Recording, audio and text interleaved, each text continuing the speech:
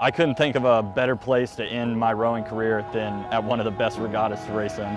If you told me my freshman or sophomore or even junior year that I'd be here at Henley today, there's no way I'd believe you. But this is, this is what happens when all the great people that have been able to fund this program and help us continue our campaign, and really, it's amazing what can be done.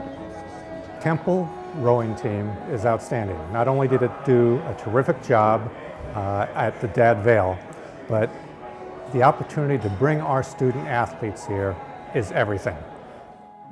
A number of years ago, based on cost, the crew team and the rowing team, the women's rowing team, uh, were in danger.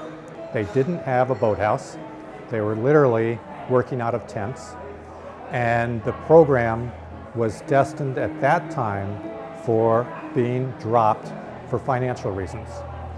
The great tradition of crew at Temple was going to be lost in terms of intercollegiate sports. And Gerry Lenfest funded the renovations of this historical place on the river and provided Temple with a home. We would not have a crew program without Gerry Lenfest. There are so many people to thank for this renovation.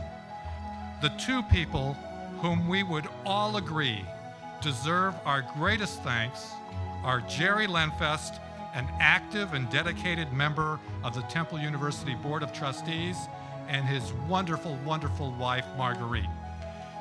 We owe both of them more than words can say. It's hard to find anything other than a superlative to say about this tremendous facility and the gift that the Lenfest made. We've got hundreds of thousands of dollars of equipment in here and it was all stored outside for years and years and years and so that takes, you know, its toll, it's wear and tear that doesn't need to happen. So to be able to store your equipment in here, to be able to train in, uh, you know, all conditions, all of those things make a big difference and add to the end result, um, which thankfully this year was a lot of wins for both teams.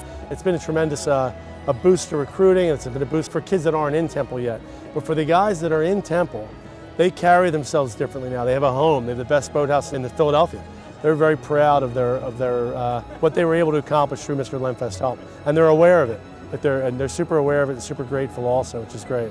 Mr. Lenfest, I want to say I can't thank you enough. Without you, I wouldn't be here and I might not even be in college. Uh, you really, what you did meant the world to all of us. We are so, so grateful for everything that you do for Temple University and for everything that you have done for Temple University. Thank you, Mr. Lenfest. Thank you so much, Gerry. Thank you, Gerry. Thank you. Thanks very much. God bless you. Thank you so much. Thank you, Mr. Lenfest. Thank you. I'm going to get emotional. Thank you. Really appreciate it.